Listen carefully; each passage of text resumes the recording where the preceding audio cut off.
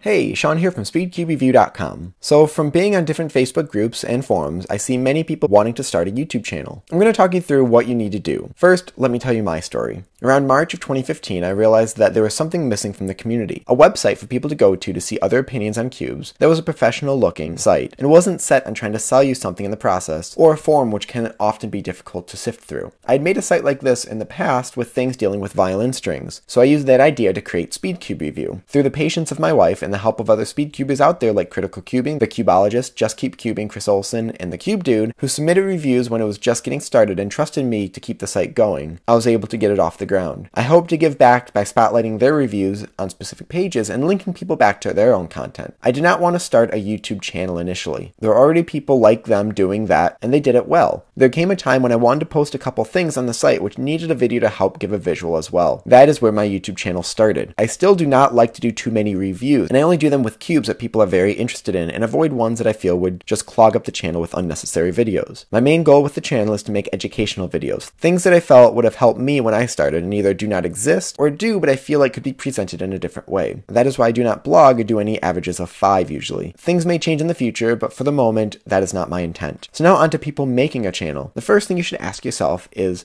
why do you want to make a channel? Do you want to make a blog? Do you just want to have fun making videos? Do you want to do reviews or some other reason? The reason why that is so important is because if you want to make a blog or just do it for fun, go ahead. Don't worry about subscribers or anything. If they like the content, they will subscribe. I talked to someone who said they wanted people to subscribe to their new channel. I asked what their goal was, meaning what they wanted to do with it, and his reply was his goal is 100 subscribers. If your goal is to have a certain number of subscribers over making content that will bring subscribers, then you're doing it for the wrong reason. I had someone else say to me that it's next to impossible to get noticed because there are already so many people on YouTube. I agree. So if you want to be noticed, make content that is different. That can be hard to do, but doing a video that seems like someone else already covered it in a similar way will not drive people to watch more. The biggest thing people want to do is share their opinions on their cubes. If you just want to share your opinion again, do not worry about how many people subscribe. I made a website so people can have that outlet and get through all the clutter that is already on YouTube. I've seen a lot of people looking for free cubes through their channel. It is true that companies will send out cubes and many of them are quite generous with newer cubers, but please do not start a channel for that reason. I feel lucky to have gotten where I am, but many, if not most of my cubes I purchased. As far as equipment, I do not think you need any super fancy camera or microphone, but you know what it's like to see something that is grainy with bad audio. It can just be hard to watch watch. You do not need something fancy, but just make something that you would want to watch yourself. No one can just pick up a camera and overnight be as well known and popular as the big names out there today. Even if your content is the same high quality, people already know who they want to get their information from. This has been a crazy ride so far, and I feel honored that so many people have cheered me on. Thank you for watching. This is not made to discourage anyone from making a YouTube channel, but instead, please think about why you want to make a channel and do it for the right reasons. Either way, have fun with it. I've seen current YouTubers get angry when people thumbs down their videos or critiquing their work. Yes, there are people who control, but take most of that and use it to make better and higher quality content. Above anything, have fun and enjoy cubing. Please leave your thoughts in the comment section below. If you enjoy this content, please like and subscribe, and as always, stop by speedcubereview.com for more news and reviews.